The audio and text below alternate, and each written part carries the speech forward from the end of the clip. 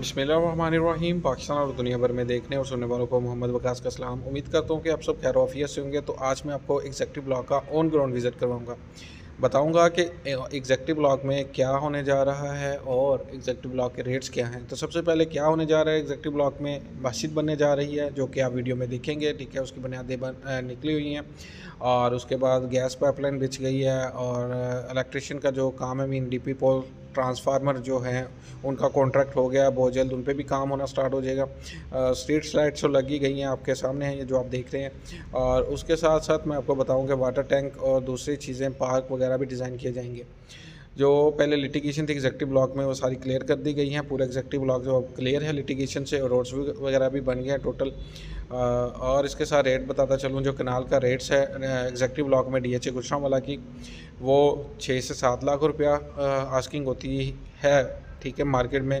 اور ابھی جو ہے تقریباً دو ڈیڑھ ماہ سے کوئی ایگزیکٹو بلاک کا کنال کا یونٹ مارکیٹ میں نہیں آیا سیل ہونے کے لیے۔ جس سے یہ اندازہ لگا سکتے ہیں کہ جنہوں نے خریدا ہوا ہے، جنہوں نے بائی کیا ہوا ہے، جن کے پاس ہے، وہ یہاں شفٹ ہونا چاہ رہے ہیں، وہ گھر بنانا چاہ رہے ہیں، اپنا گھر بنا کے رہنا چاہ رہے ہیں۔ کیونکہ گیٹڈ کمیونٹی ہے پرائم لوکیشن ہے گیٹ سے انٹر ہوتے ساری مین جی ٹی روڈ سے۔ آپ کا تقریباً ایک کلو میٹر کے فاصلے پر ایگزیکٹو بلاک ہے اور پریمیم لوکیشن ہے۔ دوسرا، آپ کو دو کنال کے پلاٹس کی بتاؤں تو دو کنال کے پلاٹس پر بھی تقریباً بارہ سے پندرہ کی بریکٹ میں آن چل رہا ہے۔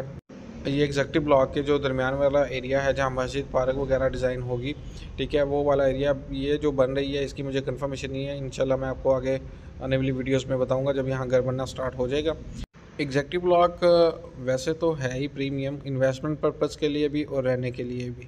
کیونکہ جس لوکیشن پہ یہ ہیں ٹھیک ہے۔ ڈی ایچ ای گجرا والا میں ابھی کوئی ریزیڈینشیل اس طرح کا کوئی سیکٹر نہیں دیا اتنا کلوز اور مجھے یہ لگتا ہے کہ آنے والے تقریباً ڈیڑھ دو سال میں جو اس کا ریٹ ریٹ ہے وہ ڈبل ہو جائے گا یعنی کہ جو ڈائی ہے وہ تقریباً ساڑھے چار سے پانچ کے راؤنڈ بورڈ ہوگی جس کی بات اور جو ہمارا دو کنال کے پلاٹس ہیں، وہ ساڑھے چار، اس کی انوائس ہے وہ تقریباً سات سے آٹھ کروڑ کے راؤنڈ بورڈ سیل پرچیز ہوگی۔